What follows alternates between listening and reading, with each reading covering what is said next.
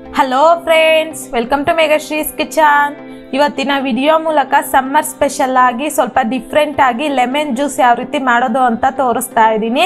ಬನ್ನಿ ಇವಾಗ ಇದನ್ನ ಯಾವ ರೀತಿ ಮಾಡೋದು ಅಂತ ನೋಡೋಣ.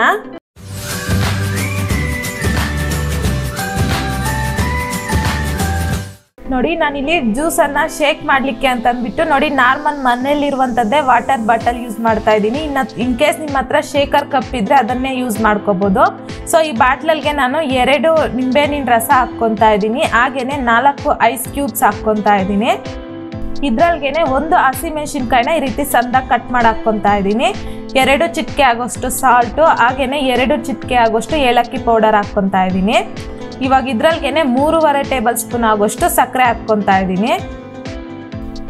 ಈ ರೀತಿ ಹಾಕ್ಕೊಂಡಾದ್ಮೇಲೆ ಇವಾಗ ಇದ್ರಲ್ಲಿಗೆ ತ್ರೀ ಹಂಡ್ರೆಡ್ ಎಂ ಎಲ್ ಆಗೋಷ್ಟು ಕೋಲ್ಡ್ ವಾಟರ್ ಹಾಕ್ಕೊತಾ ಇದ್ದೀನಿ. ಈ ರೀತಿ ಹಾಕ್ಕೊಂಡಾದ್ಮೇಲೆ ಕ್ಯಾಪ್ನ ಕ್ಲೋಸ್ ಮಾಡಿಕೊಂಡು ಇದನ್ನು ಚೆನ್ನಾಗಿ ಒಂದೆರಡು ನಿಮಿಷ ಆದರೂ ಈ ರೀತಿ ಶೇಕ್ ಮಾಡ್ಕೋಬೇಕು. ಸಕ್ಕರೆ ಎಲ್ಲ ಹಾಕಿರ್ತೀರಲ್ವ? ಸೊ ಹಾಗಾಗಿ ಒಂದೆರಡು ನಿಮಿಷ ಈ ರೀತಿ ಶೇಕ್ ಮಾಡ್ಕೊಂಡಾದ್ಮೇಲೆ ನೋಡಿ, ಓಪನ್ ಮಾಡ್ಕೊತಾ ಇದ್ದೀನಿ. ನೋಡಿ, ಈ ರೀತಿಯಾಗಿ ನೊರೆ ಬರಬೇಕು. ಸೊ ಇವಾಗ ಇಲ್ಲಿ ನಾನೊಂದು ಗ್ಲಾಸಲ್ಗೆ ನಾನು ಒಂದು ಮೂರರಿಂದ ನಾಲ್ಕು ಐಸ್ ಕ್ಯೂಬ್ಸ್ ಹಾಕ್ಕೊತಾ ಇದ್ದೀನಿ. ಹಾಕ್ಕೊಂಡಾದ್ಮೇಲೆ ನಾವು ಜ್ಯೂಸ್ನ ಶೇಕ್ ಮಾಡಿ ತೊಗೊಂಡಿದ್ರಲ್ವ? ಸೊ ಅದನ್ನು ಸರ್ವ್ ಮಾಡ್ಕೊತಾ ಇದ್ದೀನಿ.